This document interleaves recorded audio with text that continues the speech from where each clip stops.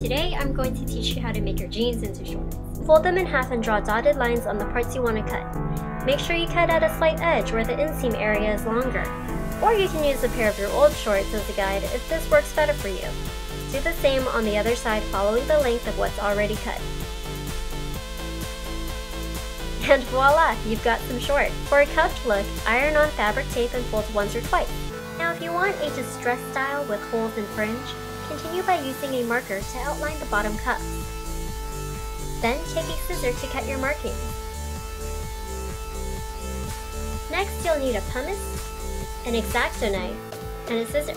Now take the pumice, also known as a foot scrubber, to roughen up the edges and other desired areas. Then use your X-Acto knife to make small cuts.